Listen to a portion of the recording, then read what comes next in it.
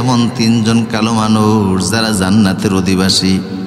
অন্য হাদিসে এসেছে, যাদের জন্য আল্লাহর জান্নাত অপেক্ষায় আছে। এই তিনজনের একজন হলেন হজরতে লোকমান আলাইহিসালাম অপরজর হলেন হজরতে অমর রাদি আল্লাহ তালাহুর আজাদ কিন্তু গোলাম মাহজাব। তিন নাম্বার বিশ্ব নবীর মুয়াজ্জিন মসজিদ নবীর মুয়াজ্জিন সৈয়দিনা বেলাল।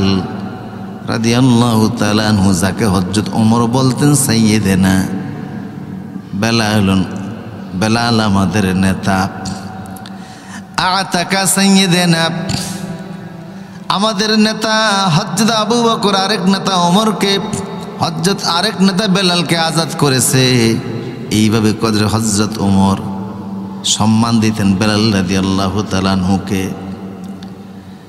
এই তিনজন ব্যক্তি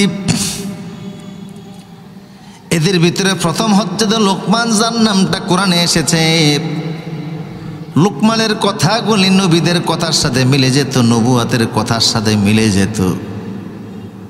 লোকমানকে অফার করা হয়েছিল, নবুয়াত না হেকমাত।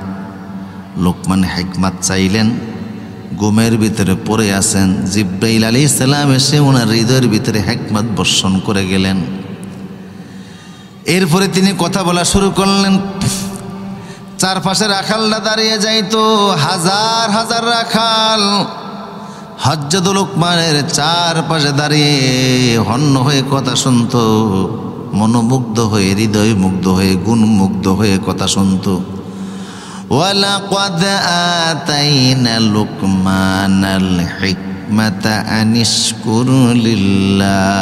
আল্লাহ পাক বলছেন, লোকমানকে আমি হিকমত দান করেছি। লোকমান কথা বলতো, এত সুন্দর কথা, এত সুন্দর বাণী, এত সুন্দর ওনার আওয়াজ। এক রাখাল গিয়ে বলে, তুমি কি আমাদের মতো সেই রাখাল না? তুমি কি আমাদের মতো সেই ব্যক্তি না? যে আমাদের সঙ্গে ছাগল চড়াইতে, আমাদের সঙ্গে মাঠে ঘাটে ঘোরাফেরা করতে, আমাদের সাথে একই সাথে খেলাধুলা করতে। তোমার কথা এত সুন্দর হলো, কীভাবে লোকমান বলে হ্যাঁ আমি তাই। তবে আমি কয়েকটা কাজ করেছি, যেই কারণে আল্লাহ ফাক এই বরকতে নূর আমারে দান করেছেন। এক নাম্বার হলো, আমি অপ্রয়োজনীয় কথা বলি না। যে সকল কথায় প্রয়োজন নাই, এমন কথা আমি বলি না। কারণ অপচয় কথা অপছন্দ অপছন্দ গ্রহণ আল্লাহ পাক পছন্দ করেন না। অপ্রয়োজনীয় কথা লাগোয়া কথা, ফায়সা কথা আমি বলি না, আর আমি হালাল খাই। এই জন্য আল্লাহ ফাঁকে নূর আমারে দান করেছেন। লোকমান হাকিম এতটা জ্ঞানী, এতটা বুদ্ধিমান ছিলেন, যার নামে আল্লাহ কোরআনে সুরা দিলেন। ব্ল্যাক ডায়মন্ড, নাকটা সেপটাপ পা দুটি স্বরূপ চেহারাটা কালো, সারা শরীরটা কালো। নিজের শারীরিক সৌন্দর্য ছিল না। একেবারে চিকন, পাতলা একটা মানুষ ছিল, কিন্তু তার নামে কোরআনে সুরা উঠে গেছে। তার কথাগুলি এখন কোরআন হয়ে গেছে। তার মানে এখন তার কথাগুলি আর তার কথা নয় কথা হয়ে গেছে আল্লাহর কালাম। যেহেতু আল্লাহর জাবান দিয়ে লোকমানের কথাগুলি বের হয়েছে। লোকমান তার নাম কোরআনে, অথচ রসুল সাল্লামের একজন প্রিয় সাবি ওবাইবদে কাবরাদি আল্লাহ তালানহু একদিন উনি সহকারে রসুল ওটের উপর বসা, হুজুর বললেন ওবাইবদে কাব, আমার একটু কোরআন তালাত করে শোনাও। ওবাই বলল, হে নবী, আপনার উপর কোরআন নাজিল হয়, আপনারে আবার আমি নিজে আপনারকে কোরআন শোনাবো। হুজুর বললেন, আল্লাহ নিজে শোনাইতে বলছে। ওবাই আব্দে কাব খুশি হয়ে গেলেন, আল্লাহ নিজে আমার কোরআন শোনাইতে বলছে, হে নবী। চোখের পানি ছেড়ে দিয়ে বলেন, আল্লাহকে আমার নাম নিয়েছে। হুজুর বললেন হ্যাঁ আল্লাহ তোমার নাম নিয়েছে। আল্লাহ নিজের নাম নিয়ে বলছে, তুমি যেন আমার কোরআন শোনাও। অথচ ওবাই আব্দে কাবের নাম কোরআনে নাই, যদিও আল্লাহ নিয়েছে, কিন্তু লোকমান হেকিমের নাম কোরআনে আছে। আবার হজরতে জাফর তৈয়া রাদি আল্লাহ তালান একদিন রসুল বললেন, জাফর রে, তোমার ভিতরে এমন চারটি গুণ আছে, যেই গুণগুলি আল্লাহ পছন্দ করে। জাফর বলে, হে নবে, আমি তো কখনো কাউকে আমার এই গুণের কথা বলি নাই। আপনি জানলেন কীভাবে? হুজুর বলেন জাফর, তুমি যদিও বলো না আল্লাহ নিজে আমারে জানাইছে। হজরত জাফর বলে, নবী গো, তাহলে কি আল্লাহ নিজে তার পবিত্র জাপানে আমার নাম নিয়েছে? রসুল বললেন, হা, আল্লাহ নিজে তোমার নাম আল্লাহ উচ্চারণ করেছে। অথচ হজরতে জাফর তৈয়ার রাদি আল্লাহ তালার নাম কোরআনে নাই, কিন্তু লোকমান হাকিমের নাম কোরআনে আছে। তাহলে কত বড় ব্ল্যাক ডায়মন্ড ছিলেন? তিন ব্ল্যাক ডায়মন্ড যাদের জন্য জান্নাত অপেক্ষায় আছে। হজ্জাদুল লোকমান জান্নাতি। হজ্জাদে বেলাল তো রসুল সাল্লা সাল্লামের সঙ্গে জান্নাতের ভিতরে প্রবেশ করবে রসুলের ওটেল লাগাম ধরে, বাহনের লাগাম ধরে। আর তিন নম্বর হজ্জতে মাহাজার আদি আল্লাহ তালানহু যাকে রসুল সাল্লাহ সাল্লাম বলেছেন যে জান্নাতের মাঝখান থেকে মাহাজাকে ডাক দেওয়া হবে। এই লোকমান হাকিম, তিনি গোলাম ছিলেন, মনিবের আন্ডারে তিনি চাকরি করতেন। মনিব একবার লোকমানের মেধা পরীক্ষা করার জন্য বললেন, লোকমান, যাও। ফাজবাহ সাতান, একটা বকরি জবাই করো। ফাখরো জমিন হাপ ওই বকরি জবাই করার পরে বকরির শরীরের সবচেয়ে উৎকৃষ্ট জিনিসটা নিয়ে আসো।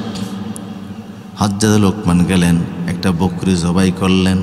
ওই বকরির কাল্পটা, হৃদয়টা হাটটা হৃৎপিণ্ডটা, কলিজাটা তিনি নিজে কেটে নিয়ে আসলেন। এসে বললেন, মনিবরে, এই বকরির ভিতরে এর ভালো জিনিস আর নাই। এটাই হলো এই শরীরের সবচেয়ে উত্তম জিনিস। আবার একদিন মনিব আবার একদিন বললেন, ইজহাব, ফাজবাহ, সাতান, আরেকটি বকরি জবাই করো। ওই বকরির ভিতর থেকে সবচেয়ে নিকৃষ্ট জিনিসটা নিয়ে আসো। লোকমান আজকেও গেলেন, একটা বকরি তিনি জবাই করলেন। ওই বকরিটারও কল্প তিনি অন্তরটা আজকে কেটে নিয়ে আসলেন, কলিজাটা কেটে নিয়ে আসলেন, হৃদয়টা কেটে নিয়ে আসলেন। মনে বলল লোকমান মাহাজাইয়া লোকমান, ও লোকমান, এটা তুমি কি করেছ? আমি বলেছিলাম, প্রাণী জবাই করে তার সর্বোচ্চ উৎকৃষ্ট জিনিসটা নিয়ে আসতে তুমি সেদিনও কলিজা এনেছো। আজকে বললাম, নিকৃষ্ট জিনিসটা নিয়ে আসতে আজকেও তুমি কলিজা এনেছো। তার মানে কি? লোকমান বলল মনিবেরে আমার দৃষ্টিতে একটা প্রাণীর দেহে এর চাইতে ভালো জিনিস আর নাই, আর এর চাইতে খারাপ জিনিসও আর নাই। এই যে কলিজা এইটা যদি ভালো হয়, মানুষটা ভালো এটা যদি খারাপ হয়, এই মানুষের চাইতে খারাপ আর জিনিস নাই। এটা যদি ভালো হয়, এই মানুষটার চাইতে ভালো জিনিস আর নাই। যদিও প্রশ্ন দুইটা অ্যান্সার কিন্তু একটা। প্রশ্ন দুইটা, জবাব একটা। ভালো জিনিস মানুষের দেহে সবচেয়ে কোনটা বলে অন্তর, কলিজা, কল্প। খারাপ জিনিস কোনটা, সেটাও অন্তর, কলিজা, কল্প। ইজা সুলুহাস সুলুহাল জাসাদ। ফিল জাসাদ আলা মুদগহ ইজা সুলুহাত সুলুহাল জাসাদু কুল্লু ওয়া ইজা ফাসাদাত ফাসাদাল জাসাদু কুল্লু আলা ওয়াহিয়াল কালব। মানব দেহে চাইতে ভালো জিনিস আর না এটা ভালো তো মানুষটা ভালো, তার কথা ভালো, তার আচরণ ভালো, তার লেনদেন ভালো। এটা ভালো, তার সব ভালো, আর এটা খারাপ। চেহারা খারাপ, আচরণ খারাপ, ব্যবহার খারাপ, কথা খারাপ, লেনদেন খারাপ। এই জন্য কালবের চাইতে ভালো জিনিস আর নাই। সে লোকমান হাকিম বলেছিলেন যে, আমি চার হাজার নবীর খ্যাতমত করেছি। চার হাজার নবীর খ্যাতমত করে আমি নিজে আটটা জিনিস শিখেছি। লোকেরা জিজ্ঞেস করল, লোকমান, চার হাজার নবীর আপনি খ্যাতমত করেছেন? আটটা জিনিস আপনি শিখেছেন, সে আটটা জিনিস কি কি আমাদেরকে একটু জানান? লোকমান হাকিম বললেন আমি চার হাজার নবীর খ্যাতমত করে আটটা জিনিস শিখেছি, তার ভেতরে একটা হলো, ইজা কুংতা ফিসলাতে ফাফাস কালবাক। চার হাজার নবীর খ্যাতমত করে আটটা জিনিস আমি শিখেছি, তার ভিতরে একটা হলো, ইজা কুংতা ফিসলাতে ফাফাস কালবাক। যখন তুমি নামাজের ভিতরে থাকবে, তখন তোমার হৃদয়ের ভিতরে রশি লাগাও, কলবে কলিজার ভিতরে রশি লাগাও। তার মানে কল্পটাকে, অন্তরটাকে নামাজের ভিতরে ধরে রাখো। নামাজের বাহিরে যেন তোমার মনটা না যায়, যেন কল্পের ভিতরে রশি লাগাও, এটা যেন নামাজের ভিতরেই থাকে। এক ব্যক্তি রসুলের সামনে নামাজ পড়তেছিল, আর এদিক ওদিক তাকাচ্ছিল, উস্কু খুস্কু মনোভাব ছিল। জামা কাপড় টানতেছিল, ঠিক করতেছিল। রসুল সাল্লা সাল্লাম বললেন, লাউ খাসিয়াত কালবাহু।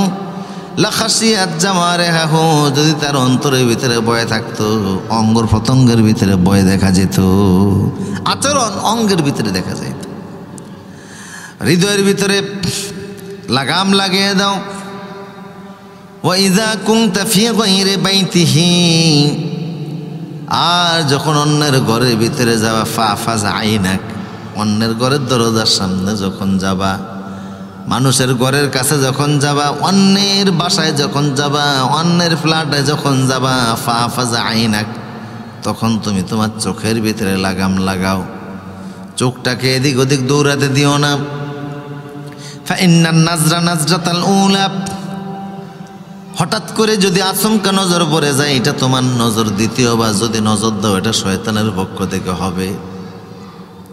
এই জন্য পর ফরনারির সামনে, মানুষের ঘর বাড়িতে গেলে চোখ বড় সাবধান, চোখের ভিতরে রশি লাগাও। ওয়াইজা কুংতা বাইনা তো আম তিন নাম্বার আমি নবীদের খেদবত করে শিখেছি। ওয়াইজা কুংতা বাইনা তো আম ফা ফাজ উলুকাক। আর যদি তুমি খাবারের মাঝখানে থাকো, তখন হলকমের ভিতরে রশি লাগাও, তার মানে ফ্যাট পুরা উদর ভর্তি করে খেও না। একেবারে ওদর ভর্তি করে খেও না। খাবারের সন্ন্যতটা পালন করো। তিন ভাগের এক ভাগ খাও, এক ভাগ পানি দ্বারা ভরপুর করো আর এক ভাগ তুমি খালি রাখো। এটা তোমার জন্য, তোমার স্বাস্থ্যের জন্য ভালো। রসুল সাল্লাহ সাল্লাম এবং নবীরা এইভাবে করে খাবার খেতেন। এই বিষয়গুলি তোমরা মনে রাখবা। যখন নামাজে থাকবা, অন্তরে রশি লাগাও। নিজের ঘর বিদিত অন্যের ঘরে যখন যাবা, চোখের ভিতরে রশি লাগাও। আর খাবারের মাঝখানে যখন থাকবা, তখন নিজে কল্ব, নিজের হলকমের ভিতরে রশি লাগাও, বেপরোয়া খেও না। চার নাম্বার ওয়াইজা কুংতা বাইনান নাস ওয়াইজা কুংতা বাইনান নাস ওয়াইজা কুংতা বাইনান নাস। আফাজ লিসানাক আর যখন মানুষের মাঝখানে থাকবা, জিব্বার ভিতরে রশি লাগাও। মানুষের মাঝখানে থাকলে জিব্বার ভিতরে রশি লাগাও, তার মানে হলো তোমার জিব্বা দিয়ে যেন এমন কোনো কথা না বের হয় যে কথার কারণে ফেতনা ছড়া হয়। সমাজের অধিকাংশ রাষ্ট্রের, সমাজের দেশের পরিবারের অধিকাংশ অশান্তি জিব্বার কারণে। এই জন্য আবু বকর দিলদর মাঝে মধ্যে জিব্বাকে টেনে ধরতেন আর বলতেন, জিব্বারে, তোর কারণে ইন্না মাকতাল রাজুলে বাইনা ফাক্কাইহে। আর মানুষের ধ্বংস তো জিব্বার মাঝখানে। কথার কারণে মানুষের বিপদ আপদ বেশি। কথার কারণে শত্রুতা বাড়ে। কথার কারণে মানুষের মৃত্যু ডেকে আনে এমন বিপজ্জনক কথাও বলে ফেলে। অনেক সময় জিব্বা এমনও কথা বলে ফেলে যে এই কথার কারণে আল্লাহর নেয়ামত দূরে সরে যায়। এই জন্য জিহবাকে ব্যাপারে বড় সাবধান বড় সাবধান। আল্লাহ রসুল সাল্লাহ সাল্লাম বলেছেন আমি কি তোমাদেরকে মাইয়াজমান লিমা বাইনা লাহিয়াইহি ওমা বাইনা রিজলাইহি আজমান লাহুল জান্না তোমরা যদি দুটি জিনিসের জিম্মাদারি নিতে পারো, আমি রসুল তোমাদের জন্য জান্নাতের জিম্মাদারি নিব। এক নাম্বার হলো তোমাদের লজ্জাস্থানে জিম্মাদারি নাও। দুই নাম্বার হলো জিব্বার যদি তোমরা জিম্মাদারি নাও, এই দুটি জিনিসের জিম্মাদারি নিলে আমি রসুল তোমার জন্য জান্নাতের জিম্মাদারি হয়ে যাব। আমার প্রিয় সদীপ, এই চারটা জিনিস বললেন লোকমান এগুলিনের ভিতরে লাগাম লাগাবা। পাঁচ নাম্বার, ছয় নাম্বার হলো, এই দুইটা জিনিস কখনো ভুলবা না। পাঁচ নাম্বার কখনো ভুলবা না, ছয় নাম্বার কখনো ভুলবা না। আর সাত এবং আট নাম্বার কখনো প্রকাশ করা যাবে না, মনে রাখা যাবে না। দুটি জিনিস কখনো ভোলা যাবে না, আর দুটি জিনিস কখনো মনে রাখা যাবে না। ভুলে যেতে হবে। কোন দুটি জিনিস মনে রাখতেই হবে, এক নাম্বার হলো, পাঁচ নাম্বার হলো জিক্রুল্লাহ, আল্লাহর জিকির কখনো ভোলা যাবে না। সব সময় আল্লাহ জিকির করা লাগবে। জিব্বাকে আল্লাহর জিকিরে ব্যস্ত রাখা লাগবে। দরুল্লিসান জিব্বার নারা যারা যেন জিকিরের মাধ্যমে হয়। সুবাহান আলহামদুলিল্লাহ আল্লাহ একবার এই জিকিরগুলি সবসময় করা লাগবে। আর ছয় নাম্বার হলো, আলমাউত, মৃত্যুর কথা কখনো ভোলা যাবে না। মৃত্যুকে সবসময় স্মরণ রাখতে হবে। কারণ মৃত্যু নিশ্চিত যেহেতু আসবে, এটা কখনো ভোলা যাবে না। এই দুটি জিনিস ভোলা যাবে না, সবসময় মনে রাখা লাগবে আল্লাহর জিকির আর মৃত্যু। সাত নম্বর ভুলে যেতে হবে, আট নম্বরও ভুলে যেতে হবে। সাত নম্বর হলো যে কেউ তোমাকে গালি দিয়েছে, এটা মনে রাখা যাবে না। কেউ তোমাকে খারাপ কথা বলেছে, এটা মনে রাখা যাবে না, ভুলে যেতে হবে। আট নাম্বার হলো তুমি কারোর প্রতি আহসান করেছ, দয়া করেছ, ভালোবাসা দেখিয়েছো, দান করেছ, খয়রাত করেছ, সাহায্য করেছ, সহযোগিতা করেছ, এটা বলে যাওয়া লাগবে, এটা কখনো মনে রাখা যাবে না।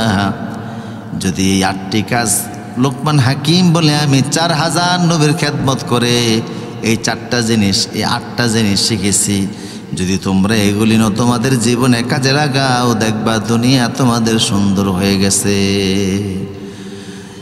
এই যে ব্ল্যাক ডায়মন্ড তিনজন, একজন লোকমান, একজন বেলাল, একজন হজ্জদা মাহজা রাদি আল্লাহ তালানহুম আল্লাহ তাদের প্রতি খুশি থাকুন। যারা তাদের কর্মের মাধ্যমে আল্লাহকে খুশি করে নিয়েছিলেন, সাদা ছিলেন না, সাদা চামড়ার মানুষ ছিলেন না। বহু মানুষ আছে বাহিরে বড় ধলা, ভিতরে কালা। বহু মানুষ আছে বাহিরে, ভিতরটা বড় সুন্দর, যদিও বাহিরটা ওনাদের কালো, এরা হলো ব্ল্যাক ডায়মন্ড এরাই হলো আসল আইকন। এখন এমন লোকদেরকে আমরা আইকন মনে করি যারা জাহান্নামীদের আইকন। জাহান্নামীদের আইকনটা এখন মুসলমানদের আইকন। অথচ এই সমস্ত ব্ল্যাক ডায়মন্ডগুলি হলো মুসলমানদের আইকন। যাদের ভিতরে সুন্দর, বাহিরও সুন্দর, যারা আল্লাহকে খুশি করে দুনিয়া থেকে বিদায় হয়েছে।